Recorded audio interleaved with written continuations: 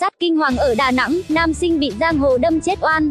Thấy có người bị nhóm giang hồ truy sát phải nấp vào cửa nhà mình, nam sinh 21 tuổi vội ra xem và can ngăn thì bị đâm gục và tử vong tại chỗ.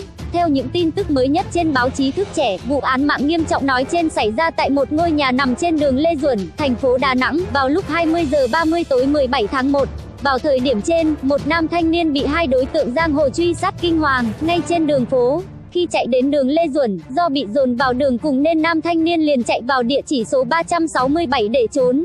Nghe thấy tiếng ồn ào ngoài cửa, chủ nhà là anh Trần Nguyễn Anh Phú, 21 tuổi, liền chạy ra ngoài xem tình hình thì bất ngờ bị một trong hai đối tượng giang hồ rút dao đâm chết. Được biết, nạn nhân Trần Nguyễn Anh Phú hiện đang là sinh viên năm 3 của trường Đại học Kiến trúc Đà Nẵng.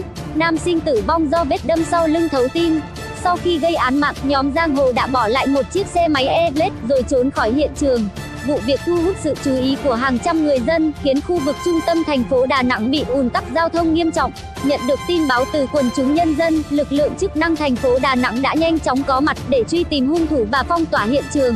Đến 22 giờ 30 đêm 17 tháng 1, hiện trường vụ việc vẫn đang được phong tỏa. Khuya cùng ngày, Phó Chủ tịch Ủy ban Nhân dân thành phố Đà Nẵng, ông Hồ Kỳ Minh đã trực tiếp tới hiện trường vụ án để chỉ đạo công tác điều tra.